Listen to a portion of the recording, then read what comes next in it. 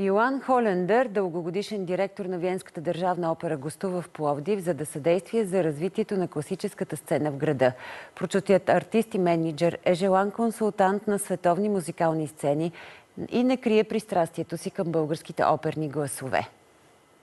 Йоан Холендър е гостувал многократно в България. Консултирал е операта и филхармонията в София. По тепетата идва за първи път, по покана на директора на Пловдивската опера Диан Чобанов. Чува добри думи за музикалните традиции в града от режисьора Вера Немирова.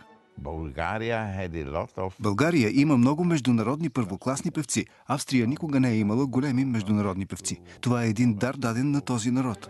Музикалният експерт ще съдейства за привличането на значими оперни имена, които да пеят на античния театър. Единствената сцена в града, която истински го впечатли. Днес вие може да имате изпълнители от целия свят. Българи могат да пеят по света и светът да пее в България. Дори да не разполагате с толкова добри условия като сценична база и заплащане. Известен с откровените си и често силно критични отзиви за музикалните традиции на съвремието, маестро Холендер препоръча да се поставят повече класически оперни заглавия и вниманието в спектаклите да бъде насочено преди всичко към певците, които са стожерите на оперното изкуство.